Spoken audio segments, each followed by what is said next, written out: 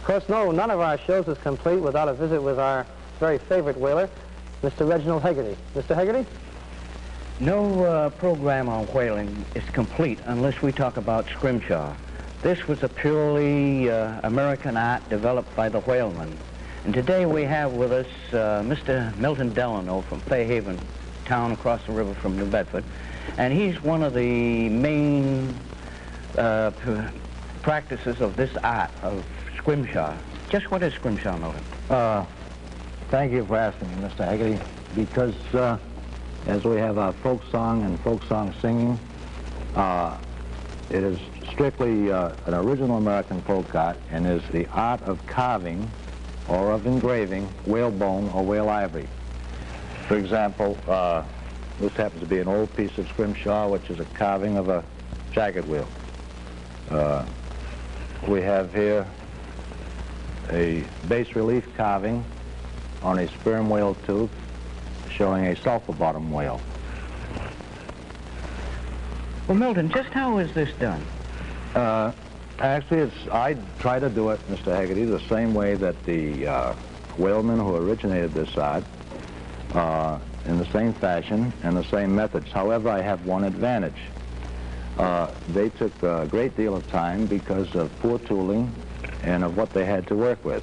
I have the advantage of being able to use some of the finest steels procurable, and uh, it doesn't really take a talent to be able to do this.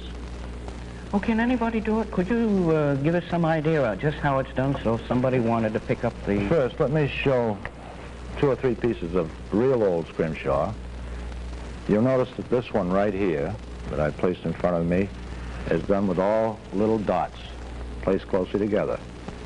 It is possible that some whaleman had taken a picture of uh, the person that is of and laid it over the tooth and just pricked very lightly and then afterwards pricked even harder.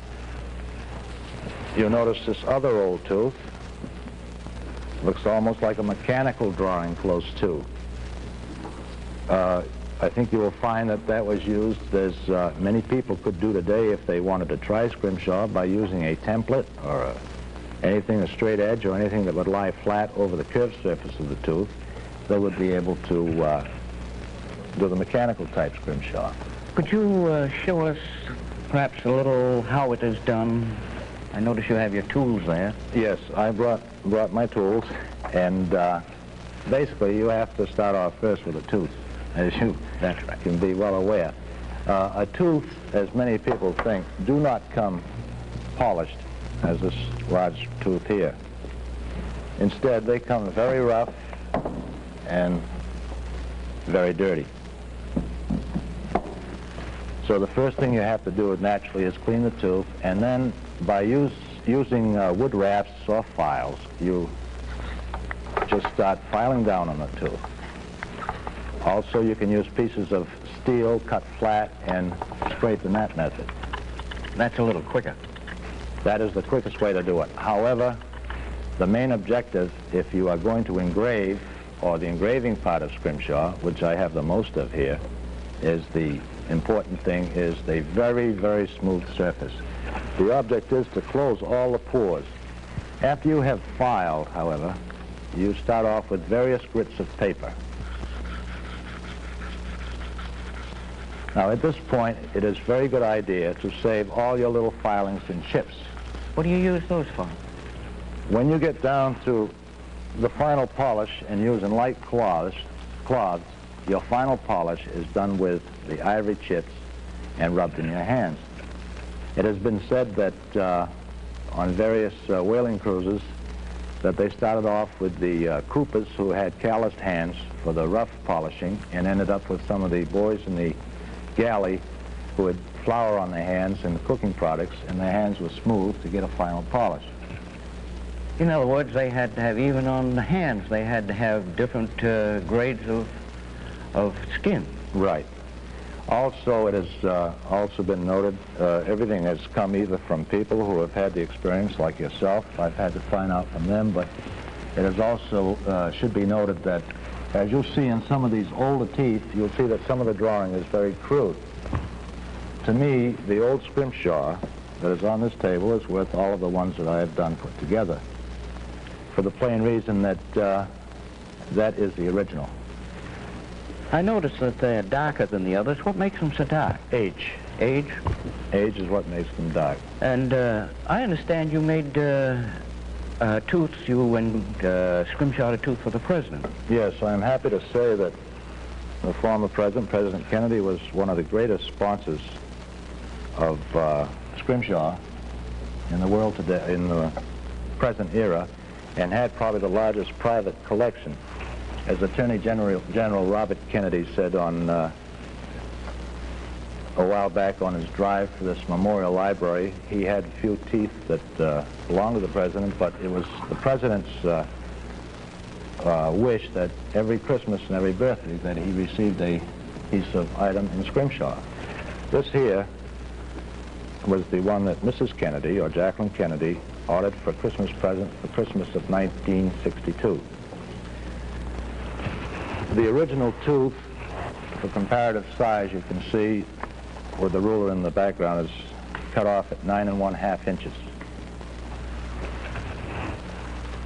The mate to the tooth, and as far as position in the jaw, was this tooth right here. Oh, I'd say that tooth there came from a whale that must have been at least 90 foot long.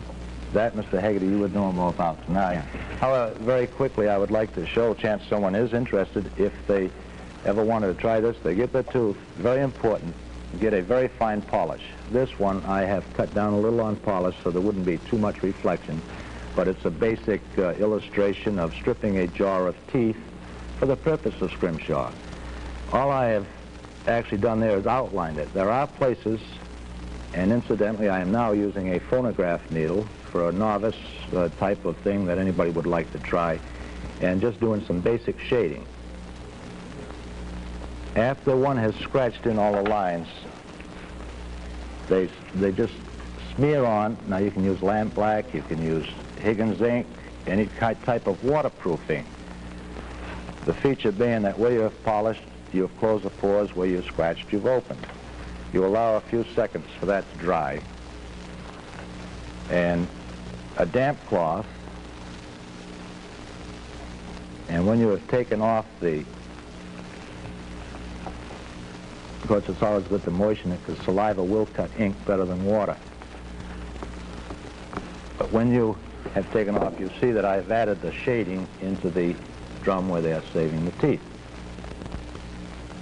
That's interesting. Is that the way you do it all? Some I have tried in color, as this one of Mark Twain and the Sioux Indian. Oh, the principle is the same on all Principle of it. is exactly the same, except don't make the mistake and start off with a light color, because when you put a dark on, you uh, naturally would get the lights, the dark also. Oh, I see. This one here, I would not call Scrimshaw. It happens to, was done special for the premiere of Moby Dick when it was in New Bedford a few years ago. That happens to be, uh, let's say, ivory uh, miniature or a casein on ivory. Well, then, as I am to understand you, what really is scrimshaw is something made out of ivory, that is the whale's teeth, or perhaps the jawbone. Or the whalebone.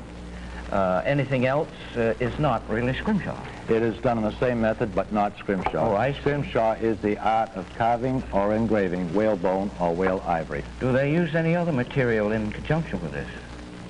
Uh, they've used ebony and mother of pearl, but the main uh, art is scrimshaw. Well, thank you, Milton. That, uh, I guess, think the people will have some idea of how that is, and now we'll turn it back to Mr. Healy. Thank you, gentlemen. That's, uh, that's quite an art, quite an art.